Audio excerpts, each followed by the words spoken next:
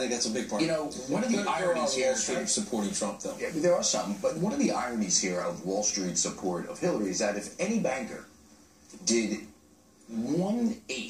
what she, what James Comey said she did in terms of keeping a private server, doing all your business on a private server that's outside the sort of Having your lawyers essentially Yeah. erase your private yeah. server. Uh, and and you and, and basically um, evade company and, and regulatory policy. You'd be fired, drawn and quartered, hung from the highest tree. You'd definitely be Who's, who's damaged more, though, James Comey or? Uh, Well, I, I would just say this: How does well, I mean? I talk to bankers all the time. They're like, what, "Where's the double standard?" I mean, Frank Quattrone, James Comey, when he was U.S. Attorney for the Southern District, indicted Frank Quattrone over a 22-word email that could have been taken 40 different ways.